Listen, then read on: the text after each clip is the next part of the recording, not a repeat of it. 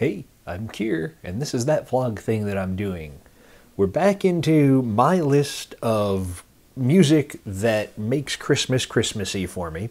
And now we're into the kind of silly songs. Okay, the really silly songs. The ones that make everyone smile and laugh, and if they get played too often, get really, really annoyed because they're the kind of songs that um, are only good in small doses because of their novelty uh, and and because of the twisted humor in them. Uh, if they get played too much, it, it all wears off, and uh, they are a whole lot less fun. Uh, so, starting out with uh, the Chipmunk song. That that's the song that really put uh, David Seville and the Chipmunks on the map. Uh, it's get, get us got us all uh, thinking about uh, how distracted that Alvin gets all the time and how utterly blind he seems to the actual spirit of Christmas. All he wants, that little chipmunk, all that little chipmunk wants, is stuff for himself.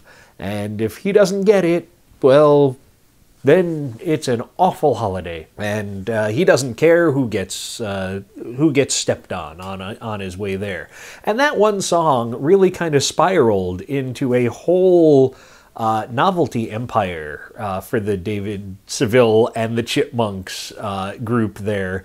Uh, we have cartoons in the 80s. There's a movie series ongoing featuring the Chipmunks. From what I've seen, it's nowhere near as good as the uh, older animated stuff and the uh, novelty songs themselves, uh, but it's still around. And if that doesn't show some sort of staying power, I don't know what does. Uh, next one is I Want a Hippopotamus for Christmas. Only a hippopotamus will do. Uh, and it's another cute fun song uh, that that's bouncy and, and it's that childish joy of wanting the utterly ridiculous and not caring that it's utterly ridiculous. And that sort of wonder, that sort of just blind joy without any sense of practicality is, I think, something that, that we can all benefit a little bit from, especially during the holiday season. If you're going to ask for something, ask for something that you really, really want, regardless of whether or not you think you're actually going to get it, regardless of whether or not it's sensible or plausible. Just get it out there. And then, you know, when the hippopotamus shows up underneath the tree, um, then you have to figure out how you're going to explain to your apartment management that you are now keeping a hippopotamus in your bathroom. That's probably not going to work. You're probably going to have to find a better home for that hippopotamus if it shows up. But don't be afraid to ask for it. Hippopotami, hippopotamuses, they're fun.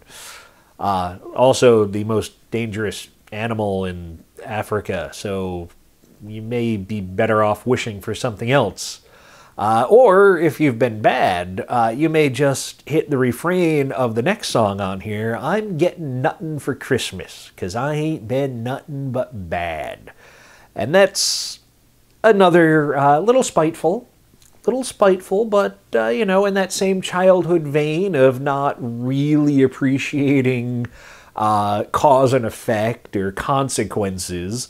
Uh, and and just going along with uh, what what's there. Uh, I know growing up, it was a song that would come on, and parents would smile, and kids would get horrified a little bit, terrified that that maybe they've done something wrong that Santa's not going to be happy with, and he's not going to get the you know hippopotamus, I guess. Uh, but the uh, it's a funny song once you're past that point uh, because the whole list of bad stuff that's been done is comparatively minor uh, when you look at it through the lens of an adult. Uh, and especially in the modern world where you look at it in the lens of the bad stuff that really goes on in the world, th- there's nothing really horrible in this song. But it's still bad stuff, so don't do that stuff because Santa's watching. Uh, next up is a uh, more recent one. Uh, it's one uh, done to a familiar tune, but with different lyrics. Uh, and that's Rusty Chevrolet, which is uh, one of my personal favorite newer songs. And by newer, I mean, I think it came out in the mid 80s, uh, early 90s, maybe. And it's about a car that's just completely falling apart. Growing up in rural New York, I was familiar with cars that were just kind of falling apart. A lot of people I know had cars like that. There were always cars like that on the road.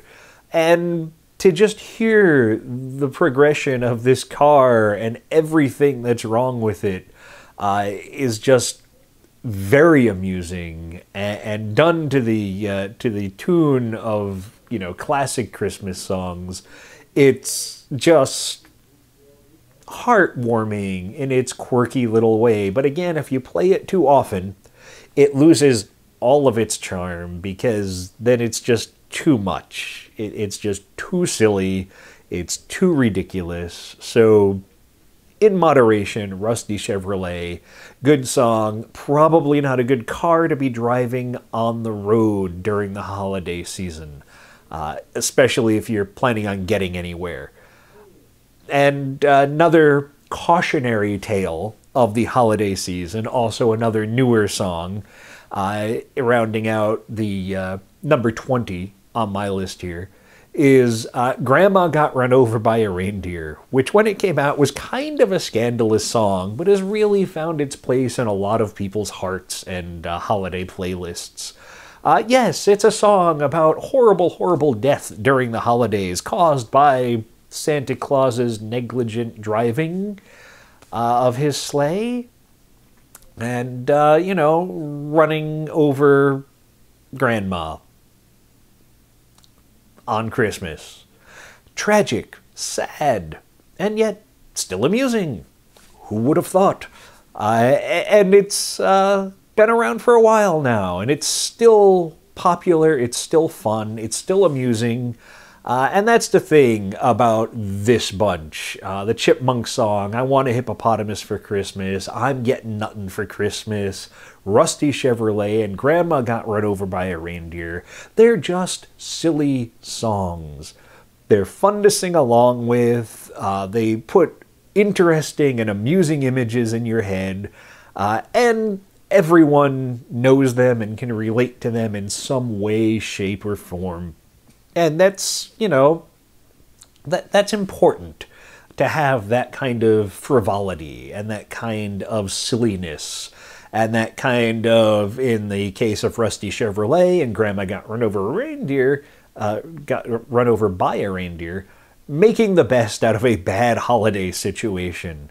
Uh, so of this batch you let me know which one is your favorite uh, and if you uh, have a favorite version, because there are some different takes on these from a few different uh, artists over the years, uh, let me know down in the comments which one of these you love or which one you hate, because I know a lot of people really don't like Grandma Got Run Over by a Reindeer.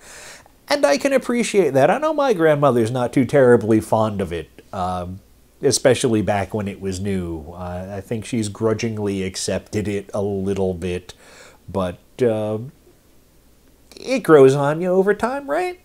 So let me know in the comments which ones you like the best. Uh, if you like the stuff I talk about, give me a thumbs up right below the video. If you are subscribed, thank you for being subscribed. If you're not subscribed, subscribe so you get notified when these things come out. And if you know anyone else who would be interested in the stuff that I talk about here, share this or one of my other videos with them so we can get them involved in the conversation. I'm Kier. That's it for today. Guess I'll see you tomorrow.